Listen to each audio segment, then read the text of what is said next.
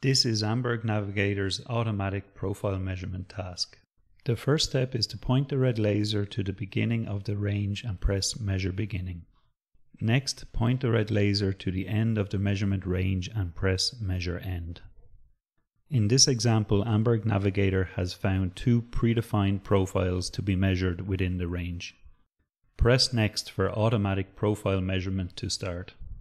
The instrument will measure points on the profile according to your predefined task definition. The instrument may go through a series of iterations so that points on the exact predefined stationing value are measured. The measured point spacing for each profile are predefined in the office in Amberg Tunnel Office software.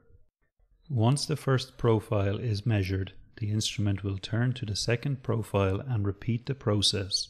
It will do this until all predefined profiles within the measurement range are measured. One of the main advantages of predefining the profile measurement task in the office is that the data is measured in a consistent way, taking the responsibility and sources of error away from the tunneling crew. Once all the profiles within the measurement range are measured, you can instantly view the overbreak and underbreak. This allows you to make informed decisions directly in the tunnel and produce detailed reports back in the office.